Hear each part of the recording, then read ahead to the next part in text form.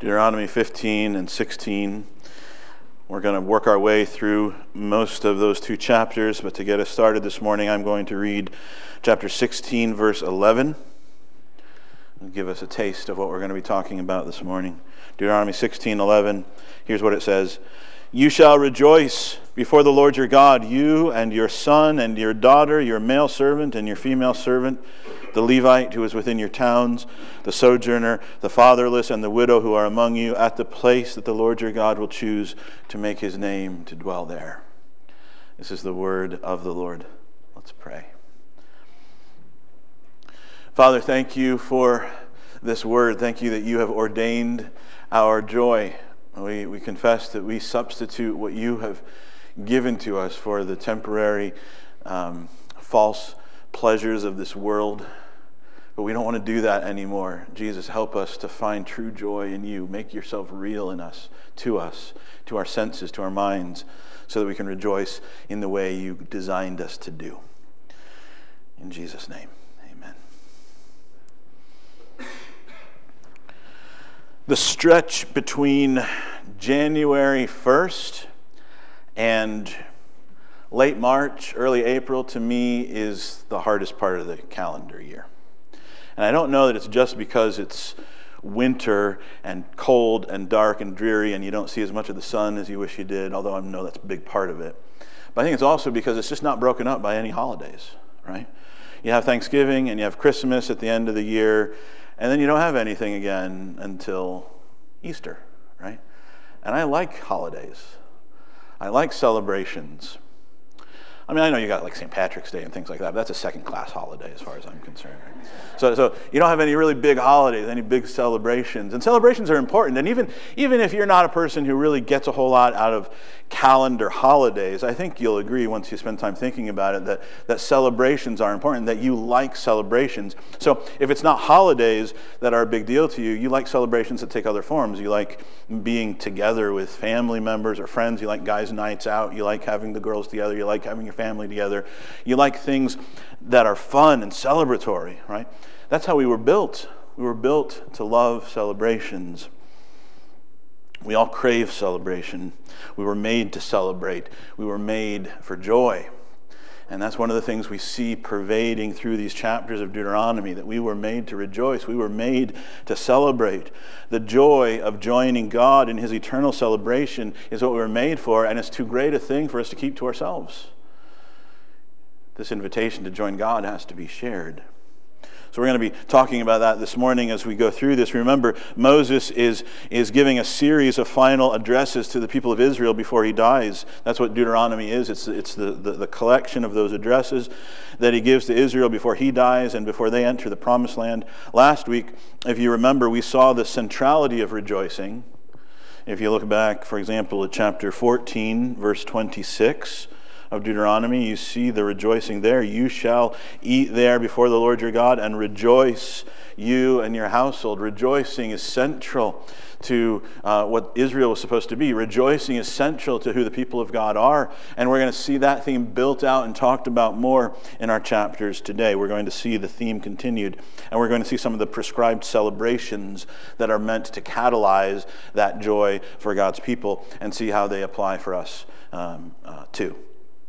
So, we're going to talk, first of all, about the invitation to join the celebration. We're going to talk about a growing understanding of the celebration. We're going to talk about inviting others to join in the celebration. Those are my, uh, my, my main points that I'll be using to organize my thoughts today. All right? The joy of joining God in his eternal celebration is too great to keep to ourselves. The invitation must be shared. So, to begin with, we're going to talk about the invitation to join the celebration. And to see this, we're going to look, uh, jump ahead to chapter 16 first. We're going to look at Deuteronomy 16 first, and then we're going to come back to Deuteronomy 15. Okay? In Deuteronomy 16, what we see are three of the major feasts of the Israelite calendar year. And if you remember from it's been almost a year ago now when we were in Leviticus chapter 23. We saw all of the seven holidays, all the seven feasts of the Israelite calendar year. So, a lot of this in Deuteronomy 16 is a reiteration of what you could read about back in Leviticus 23. Uh, but here it's interesting, Moses selects only the three major feasts for which the Israelites were expected to travel to as he says over and over again in these passages, the place where God chooses to place his name, which provisionally in the history of Israel would be the little town of Shiloh, where the tabernacle was erected, the Ark of the Covenant was, the priests ministered before the Lord there, but which would eventually, of course, be the city of Jerusalem, where the Ark eventually came during the reign of David and where the temple was eventually built in the reign of Solomon. So, for those three feasts, the Israelite males at least were called those three times a year to come to that place and to worship. And those are the three feasts that Moses talks about here in Deuteronomy 16 as a way of summarizing the whole calendar year, the whole feast schedule. And so we're going to walk through those one by one. The first is the Feast of Passover and Unleavened Bread, the second is the Feast of Weeks, and the third is the Feast of Booths. So consider, first of all, how Moses speaks about the Passover in Deuteronomy 16. Look at verses 1 through 8. Deuteronomy 16, 1 through 8. Observe the month of Abib and keep the Passover to the Lord your God. For in the month of Abib, the Lord your God brought you out of Egypt by night. And you shall offer the Passover sacrifice to the Lord your God from the flock or the herd at the place that the Lord will choose to make his name to dwell there. You shall eat no leavened bread with it. Seven days you shall eat it with unleavened bread, the bread of affliction, for you came out of the land of Egypt in haste, that all the days of your life you may remember the day when you came out of the land of Egypt. No leaven shall be seen with you in all of your territory for seven days, nor shall any of the flesh that you sacrifice on the evening of the first day remain all night until morning. You may not offer the Passover sacrifice within any of your towns that the Lord your God is giving you, but at the place that the Lord your God will choose to make his name dwell in it. There you shall offer the Passover sacrifice in the evening at sunset, at the time you came out of Egypt. And you shall cook it and eat it at the place that the Lord your God will choose. And in the morning you shall turn and go to your tents. For six days you shall eat unleavened bread, and on the seventh day shall be a solemn assembly to the Lord your God. You shall do no work in it. This is the Passover and unleavened bread. We remember, of course, the Passover is the reminder of God's deliverance of Israel from slavery in Egypt. And it's one of the more poignant reminders of it. You remember the first Passover where the Israelites were told to take a lamb, each of them for their families, and slaughter it right? And, and, and paint the blood on the doorposts and, and lintel of their doors because this was corresponding with the final plague on the people of Egypt where the, where the angel of death was going through the land and, and slaughtering the firstborn. This is God's divine judgment on Egypt. God said to them, You have taken my firstborn son, I will take your firstborn. But every time God, every time God announces a divine judgment for sin, he also announces a means of escape. And so, as he, as he announces that the death angel is going to come through and destroy the firstborn of Egypt, he also says, Here's how you can escape this punishment. And he speaks of the Passover lamb. And so, in commemoration of that, the Israelites were supposed to celebrate this every year, slaughtering the Passover lamb and remembering, remembering how God rescued them from slavery in Egypt and how he brings judgment on his people, but more than that, how he provides deliverance how he provides salvation. And then following that, of course, is the Feast of Unleavened Bread, as Moses says here, that runs for the week following. Uh, and, and they're not supposed to eat any leaven, any yeast. Uh, initially, the reason for that is because it was a commemoration of the fact that they had to leave quickly from Egypt, right? They didn't have time to leaven their bread. But then it becomes something else as time progresses too. And, and yeast and leaven then become a symbol of sin. And so the removal of the leaven from the household and the removal of it from the dough is a symbol of the fact that God's people are supposed to assiduously work to remove sin from their lives. And so Moses is reminding them of all of this. By observing the feast, then, the Israelites were remembering their past redemption by the Lord and their rescue from Egypt. But then, as you trace the Passover through redemptive history, you see it become something even bigger than, than those things, doesn't it? We remember, of course, that the Passover becomes one of the ways that the New Testament writers will speak of Jesus himself. Paul will say, Jesus is our Passover. Jesus is our Passover lamb sacrificed for us. And then we go back to the story of that first Passover in Egypt and we think about the lamb whose blood was spilled so that the people could be saved. And it all fits together? What a poignant reminder it is to us. And then, not for nothing, but that's the Passover feast that Jesus uses to institute the Lord's Supper, isn't it?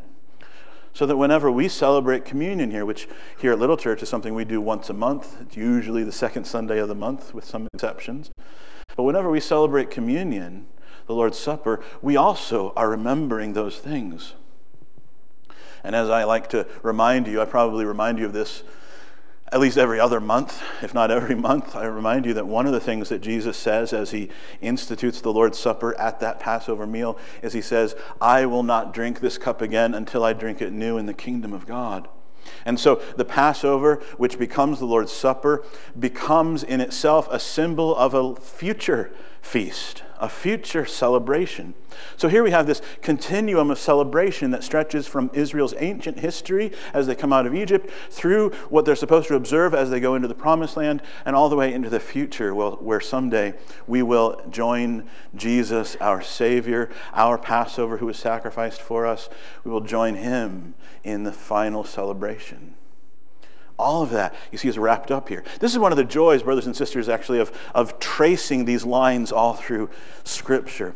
Because it's not just something that you read about in isolation here in Deuteronomy. These are things that have implications all through the pages of Scripture. And that's, again, you know, to recover some of the ground we talked about last week, why you have to be immersed in the Scriptures so that you can find those connections and you can see how it all works together. So here's our first celebration, the celebration of Passover, and the final fulfillment of that, the celebration in the kingdom of God, which we are invited to take part in. Then we have the Feast of Weeks, which he talks about in Deuteronomy 16, 9 through 12. Follow along with me while I read those verses Deuteronomy 16, 9 through 12. You shall count seven weeks. Begin to count the seven weeks from the time the sickle is first put to the standing grain. Then you shall keep the feast of weeks to the Lord your God with the tribute of a freewill offering from your hand, which you shall give as the Lord your God blesses you. And you shall rejoice before the Lord your God, you and your son and your daughter, your male servant and your female servant, the Levite who is within your towns, the sojourner, the fatherless, the widow who are among you, at the place that the Lord your God will choose to make his name dwell there. And you shall remember that you were a slave in Egypt, and you shall be careful to observe these statutes. The Feast of Weeks gets its name from its reckoning. Obviously, it's supposed to be seven weeks. Uh, here he says, following the time when the sickle is first put to the standing grain. If you go back to Leviticus 23, you'll see that there's also a feast of first fruits, which Moses doesn't bother to mention in this context. But, but, but there you see it's seven weeks from that period. Those things correspond. Um, and, and because of that timing, because of the seven weeks, and 7 times 7 is 49. And then the next day is when the Feast of Weeks happens. In, in Greek, the term 50 days, 50th day is what? Pentecost. Right? And so the term Pentecost that we read about in Acts is the, the Greek term that was used to, to, to refer to this festival. And one of the things that happened over time is that the Feast of Weeks came to be understood as a celebration not just of harvest or of new beginnings, but of the fact that Moses went up to Mount Sinai and brought back the law. It was the, you know, the, the, rabbis by the time of the first century connected the timing of Pentecost with, with about the time that, that Moses went up to the top of Sinai and communed with God for 40 days and came back down with the stone tablets of the law. And so by the time Jesus and, and the apostles are on the scene, that was their understanding of Pentecost. Pentecost was a commemoration of the giving of the law. And so then, when you read the story of Pentecost in Acts 2, you begin to see how Luke is showing the parallels between those two events, right? Just as Moses, the first lawgiver, went up Sinai, so Jesus, the true lawgiver, ascends not a mountain, but into the true throne room of God. Moses went to the top of a mountain where God temporarily dwelt. Jesus goes into the true temple of God in heaven, right? And just as Moses comes back down the mountain having the law of God in his hands, so Jesus, the true lawgiver, sends the living law of God down from heaven, the Holy Spirit who indwells his people. And then even the trappings of the scenario are parallel, aren't they? So if you go back to Exodus 19 to read about the giving of the law, you read about earthquakes, right? And, and the storm and fire on the top of the mountain. And when you read about Pentecost in Acts 2, you read that the house that they were in was shaken, right? And fire appears in Acts 2 as well. But interestingly, the fire in Acts 2 doesn't just appear in a remote setting at the top of the mountain from which the Israelites are separated very diligently, but the fire comes and rests on the head of each of God's people. It's a fulfillment, you see, of, of, of what Jeremiah the prophet prophesied about the new covenant. They will not, in, the, in that final day, each of them teach his neighbor, saying, Know the Lord, but they will each know me, from the least of them to the greatest. And so we have the Feast of Weeks, the Feast of, uh, of Pentecost. And then we have the Feast of Booths. Look at Deuteronomy 16, verse 13. You shall keep the Feast of Booths seven days when you have gathered in the produce from your threshing floor and your winepress, and you shall rejoice in your feast. You and your son and your daughter, your male servant, your female servant, the Levite, the sojourner, the fatherless, and the widow who are within your towns. For seven days you shall keep the feast to the Lord your God at the place that the Lord will choose, because the Lord your God will bless you in all of your produce and in all the work of your hands, so that you will be altogether joyful. Three times a year, all your males shall appear before the Lord your God at the place that he will choose the feast of unleavened bread, at the feast of weeks, at the feast of booths. They shall not appear before the Lord empty handed. Every man shall give as he is able, according to the blessing of the Lord your God that he has given you. In one sense, the Feast of Booths looked backwards as well at God's redemption, right? The Israelites were told, and, and Moses gives more instruction about this. If you go back to Leviticus 23, you'll see the provisions that are made there. But what they were supposed to do, right, is, is collect uh, tree branches and boughs and, and, and create temporary shelters for themselves, booths. That's why it's called the Feast of Booths. And they erected these temporary uh, shelters and they lived in them for a week as a reminder of the fact that they had spent 40 years living in those booths in the wilderness. So the Feast of Booths in one sense, is a reminder of how they traveled in the wilderness and of how God was faithful to them all through that wilderness journey. However, by requiring the Israelites to live in tents or, or booths for one week each year, God is essentially also reminding them that they are still sojourners, they're still aliens. They're still wanderers as much as they were in the wilderness. He states that explicitly in several other places. We, we talked about this when we were going through Leviticus. So, for example, in Leviticus 25 23, God says, The land shall not be sold in perpetuity, for the land is mine. You are strangers and sojourners with me. You see? It's not yours, it's mine. You're my tenants, my guests.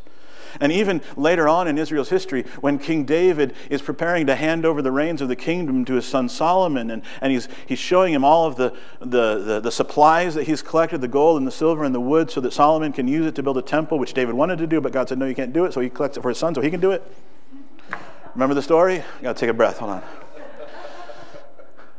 David says this in a prayer to the Lord in 1 Chronicles 29, uh, verse 15. We are strangers before you and sojourners, as all of our fathers were. Our days on the earth are like a shadow, and there is no abiding.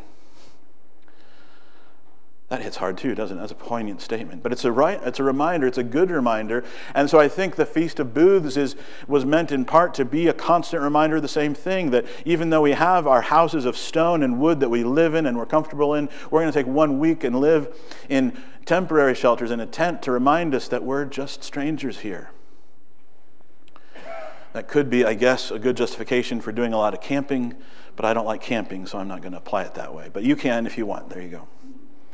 Interestingly, though, while such a reminder might be considered a cause of solemnity and self abasement, right? If you're constantly reminding yourself, I'm just a stranger here, I'm a sojourner here, there's no abiding here, you know, the natural response to that, I would think, would be solemnity and gravity and, and maybe even self abasement. Still, if you go back to Leviticus 23 and here in Deuteronomy 16, it is clear that God wants it to be a cause of rejoicing. He says, rejoice. In fact, twice in this passage in Deuteronomy 16 about the Feast of Booths, he says, rejoice. Verse 14, you shall rejoice in your feast. And again at the end of verse 15, so that you will be altogether joyful. This is supposed to be a celebratory thing, a feasting, a joyful thing. And so the question becomes what could lead them to rejoice in the reminder that they were strangers in the land? What could cause them to rejoice in the thought that this is all temporary? I think that question almost answers itself, doesn't it? This is all just temporary. There is a joy to be had in that. Because, quite frankly, a lot of this is terrible, but it's all temporary. We're strangers here. We're waiting for a better place, a better country. Isn't that what, isn't that what the Hebrew, author to the Hebrews says? Remember in, in Hebrews 11, as he goes through the, the litany of people who were faithful to God, and he's encouraging his readers to continue to be faithful as well. And he talks about Abraham and, and, and Sarah and, and all, of these, all of these patriarchs of the faith. And then he says in, in, in Hebrews 11, these all died in faith not having received the things promised, but having seen them and greeted them from afar, and having acknowledged that they were strangers and exiles in the earth. For people who speak it thus, make it clear that they are seeking a homeland. If they had been thinking of the land from which they had gone out, they would have had opportunity to, to return, but as it is, they desire a better country, a heavenly one. Therefore, God is not ashamed to be called their God. This is the cause for rejoicing in the reminder that this is all temporary. The fact that this is all temporary doesn't mean that everything is always temporary. It means that we're waiting for something that's permanent. We're waiting for something that's eternal. We're waiting the final celebration.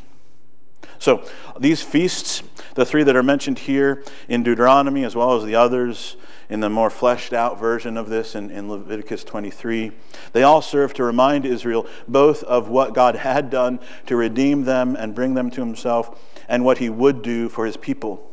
He saved them from slavery in Egypt that's symbolized in the Passover. He gave them the law to guide them, symbolized in the Feast of Weeks. He cares for them in the journey of life until they come to their true and lasting home, as symbolized in the Feast of Booths. I want you to notice two other things about these feasts as they are presented to us in Deuteronomy 16. First of all, two things are emphasized that we've already talked about. First, that the Israelites were to rejoice in other words, these feasts are not just duties to be observed, they're causes for celebration, they're rejoicing. Look at verse uh, 11.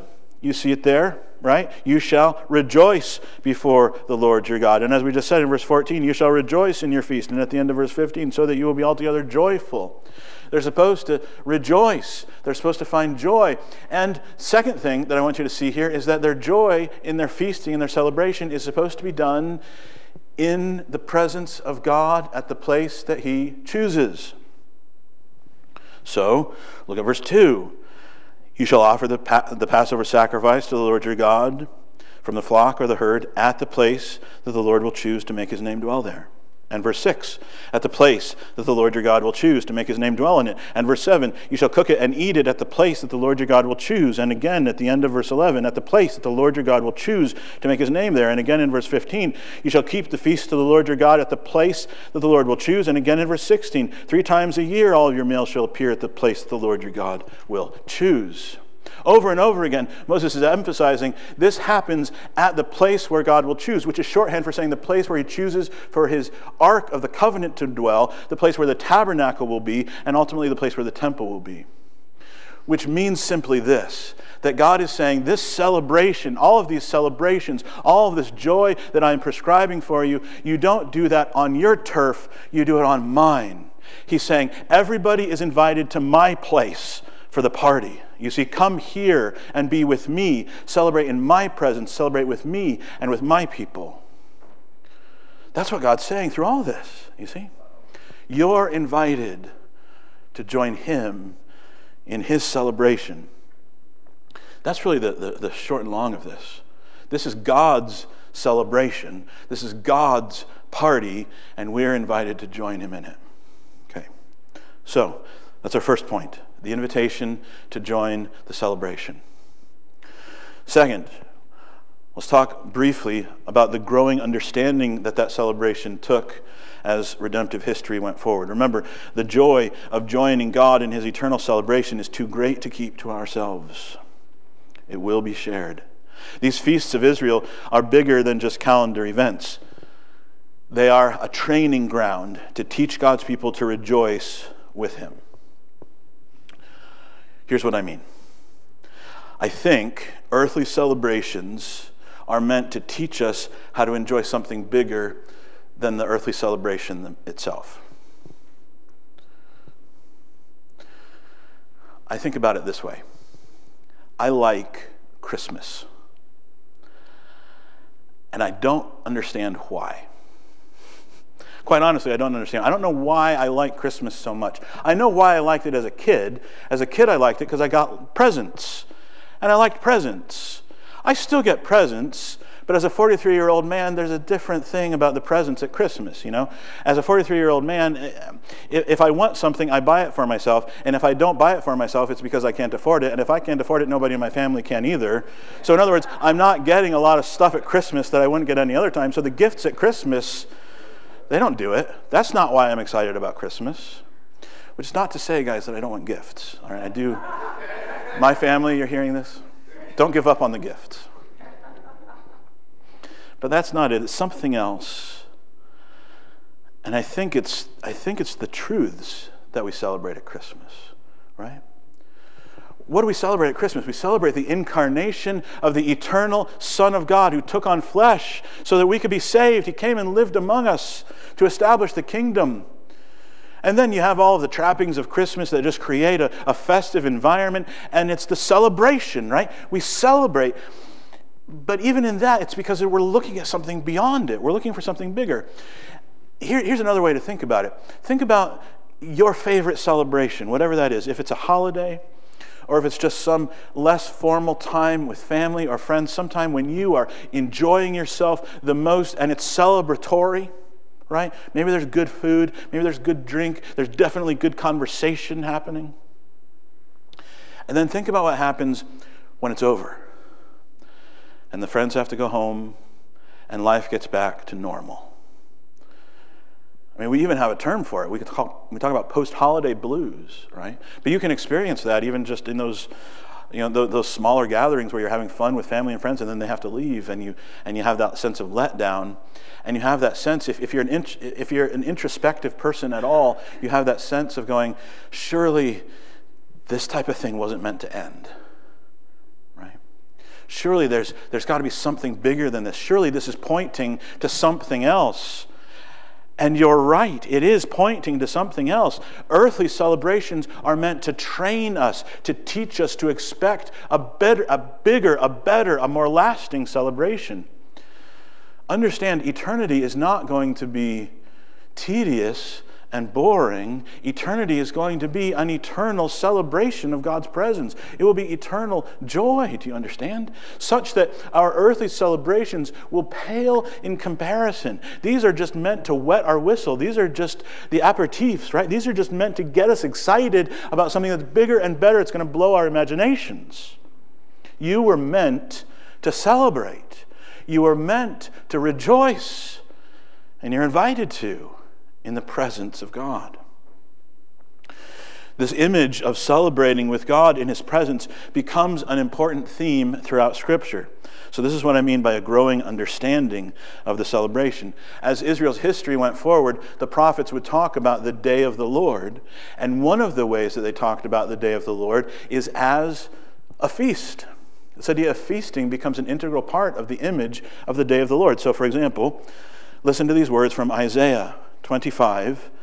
Isaiah 25, I'm going to read verse 1 and then verses 6 through 8. O Lord, you are my God. I will exalt you. I will praise your name, for you have done wonderful things, plans formed of old, faithful and sure. On this mountain, the Lord of hosts will make for all peoples a feast of rich food, a feast of well aged wine, of rich food full of marrow, of aged wine well refined. And he will swallow up on this mountain the covering that is cast over all peoples, the veil that is spread over all nations. He will swallow up death forever. And the Lord God will wipe away tears from all faces, and the reproach of his people will take away from all the earth, for the Lord has spoken. This is the day of the Lord in Isaiah's prophecy. It's a day of feasting, but it's, it's, a, it's an apocalyptic day of feasting. It's an eschatological day of feasting. It's the final day of feasting when all evils will be done away, death will be swallowed up, and everybody will celebrate. You see? that's just one example. We could give more if we had time. But It's also true that that theology of the day of the Lord and that final feast would not be true of everyone. Not all would celebrate. The day of the Lord is also about a day of judgment for God's enemies. Hosea writes this Hosea 9, 5 through 7. What will you do on the day of the appointed festival, on the day of the feast of the Lord? For behold, they are going away from destruction, but Egypt shall gather them, Memphis shall bury them, nettles shall possess their precious things of silver, thorns shall be in their tents. The days of punishment have come, the days of recompense have come. So it's this two sided thing. The day of the Lord is a day of feasting, celebration with his people, but it's a day of exclusion of those who are not his people, and it's a day of judgment. Jesus picks up on this reality as he speaks to his listeners. Matthew 8, 11 and 12, he says, I tell you, many will come from east and west and recline at the table with Abraham, Isaac, and Jacob in the kingdom of heaven. Do you hear the language of the feast? Recline at table with Abraham, Isaac, and Jacob in the kingdom of heaven while the sons of the kingdom will be thrown out into the outer darkness, and in that place there will be weeping and gnashing of teeth.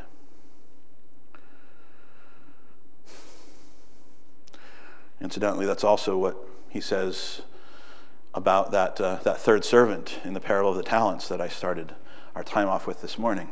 Cast him into outer darkness, where there will be weeping and gnashing of teeth. So the good and faithful servants enter into the joy of their master. The faithless servant is cast out. So, those are the images that are held up to us in the day of the Lord.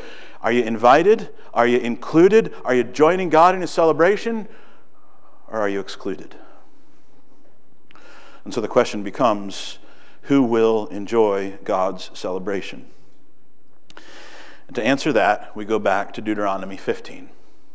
This is where Deuteronomy 15 fits in. And in fact, we're going to go to the end of Deuteronomy 14 too uh, and, and see uh, how that fits in as well. So look back at Deuteronomy 14 for our third point, inviting others to join the celebration.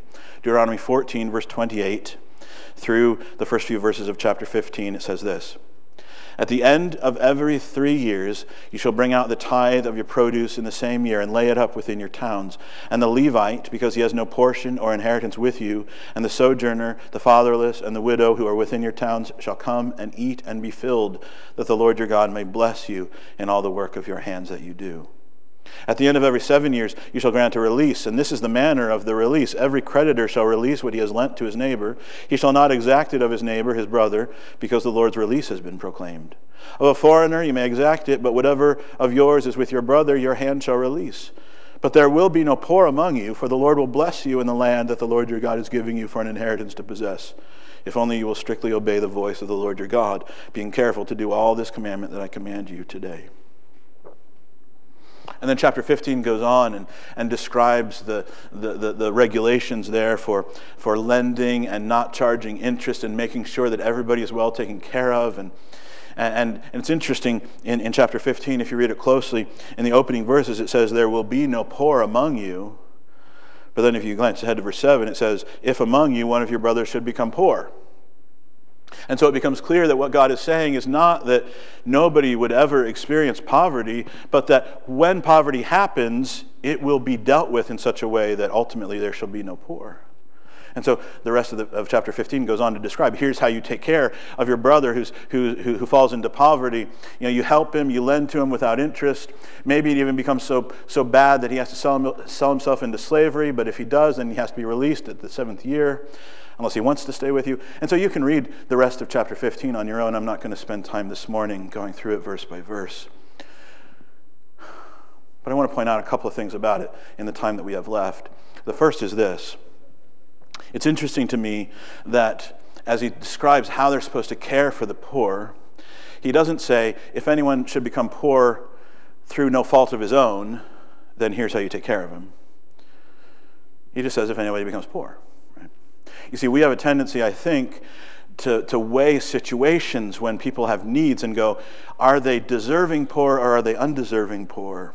You know, did he become poor through no fault of his own, in which case I'll help him, or did he become poor because of bad choices? You know, he, he gambled too much, or he sent too much money to a Nigerian prince in hopes of helping him out, or something like that. Did he make bad choices? And if so, I'm not going to help him. If, he, if it's no fault of his own, then I'll help him. But God doesn't differentiate in that way, does he? He just says, if anybody becomes poor, you help him. And then we ask the question what does this have to do with chapter 16? What does this have to do with this celebration idea? And the answer, I think, is, is wrapped up with the end of the chapter. Look at the end of chapter 15. After he talks about all of the ways that the poor are to be helped, the financially vulnerable are to be helped, he goes back to the idea of eating and celebrating together. Verse 20 uh, verse 19 All the firstborn males that are born of your herd and your flock you shall dedicate to the Lord your God. You shall do no work with the firstborn of your herd, nor shear the firstborn of your flock. You shall eat it, you and your household, before the Lord your God, year by year, at the place that the Lord will choose. You see, there's the connection. And here's what I'm trying to draw out for you this morning. In Moses' mind, there is a close connection between how they care for the poor and the vulnerable and how they celebrate together in the place that the Lord will choose and how they celebrate together uh, throughout their calendar year in the place that the Lord will choose. Okay? It's all connected in Moses' mind. Or another way to say it is, that it's not a mistake that chapter 15, with its language of caring for the most vulnerable in society, and chapter 16, with its emphasis on rejoicing and celebrating, are back to back. They are linked in this way. Moses is transitioning smoothly from speaking about how to care for the financially vulnerable to talking about giving generously the flocks and herds, a sacrifice that would have been shared with the Levites, and eating and rejoicing and celebrating with God. How are these linked? How are these ideas linked? That's what we've been saying. Joining God in his eternal celebration is something that's too great to keep to ourselves. It's an invitation that has to be shared. In other words, God's people are those who are so impacted by God's generosity that they have to share it with others. They're impacted by God's generosity, and so they celebrate and rejoice in chapter 16. They're impacted by God's generosity, and so they share it with others in chapter 15. And once you see it that way, the connection and the application for us becomes clear, doesn't it? God's people are those who are so impacted by Him that they share how they've been impacted with others, whether that's materially, with money or finances, or whether it's spiritually, with forgiveness. You know, this is why Jesus is so serious about forgiving each other. What does he say? If you will not forgive your brother from your heart, my Father who is in heaven will not forgive you. He's not saying by that that you have to earn God's forgiveness by forgiving others. He's saying if you're the type of person who is stingy with your forgiveness of others, it probably means that you've never experienced the forgiveness of God. But if you've experienced the grace and forgiveness of God, you'll be generous in forgiving others. If you've experienced the generosity of God toward you materially, you'll be generous with others. God has invited us to join Him in His eternal celebration. And that joy, once we see it, once we are impacted by it, is too great to keep to ourselves. We will bring others into it. The invitation must be shared. The good news is that the invitation to join with God in the celebration that He is planning at His place is still going out. Listen to these words from Revelation. I heard what seemed to be the voice of a great multitude, like the roar of many waters, like the sound of mighty peals of thunder, crying out, Hallelujah! For the Lord our God, the Almighty, reigns. Let us rejoice and exult and give him the glory. For the marriage of the Lamb has come, and his bride has made herself ready. And it was granted her to clothe herself with fine linen, bright and pure, for the fine linen is the righteous deeds of the saints.